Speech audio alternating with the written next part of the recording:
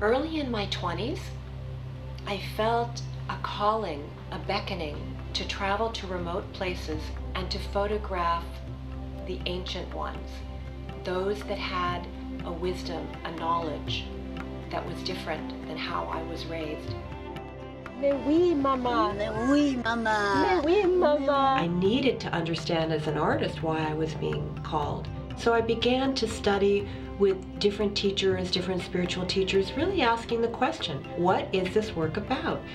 And what I found out was the work was about the wisdom of the elders and how that wisdom would help to heal our planet. What Dana is achieving is to really find the soul of the person.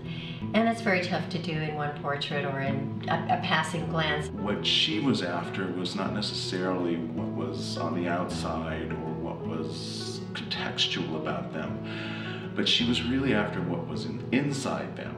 There are always some people that have a certain presence or a light and that want to be in front of the camera and offer that. I don't know what it is, but I find that throughout the world. What I try to do with the camera is to stop time and create an authentic moment, an exchange between human beings that says, we are one. We are really the same.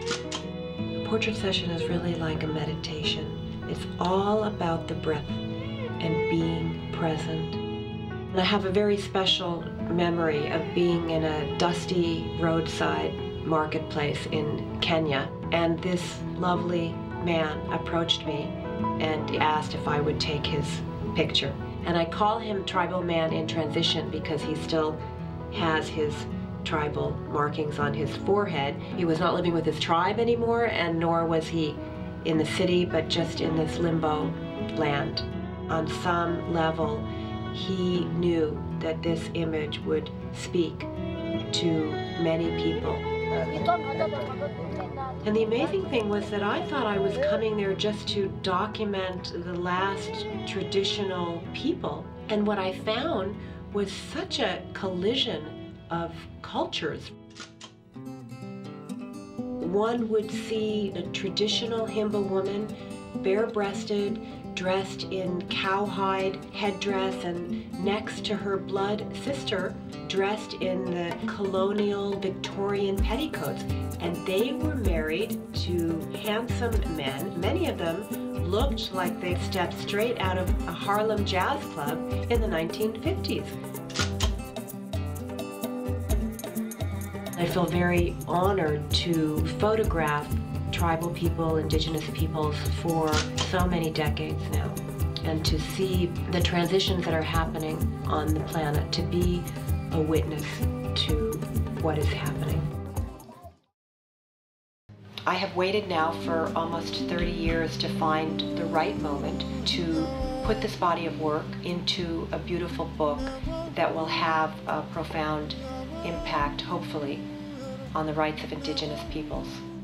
I heard a music in me. I heard a sound inside. I heard a man remind me of what lives inside.